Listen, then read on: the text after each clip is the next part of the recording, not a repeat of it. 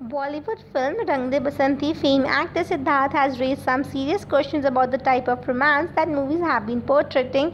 The 37-year-old actor recently uh, took a Twitter to express his concern, but Siddharth also hinted a hypocrisy of the society when it comes to stalking. He said that it's a complicated decision, but it needs to be taken. Gender must not be discriminated factor, he implied. Check out the brutally honest tweets. Thank you for watching the video. If you like it, give it a thumbs up and subscribe.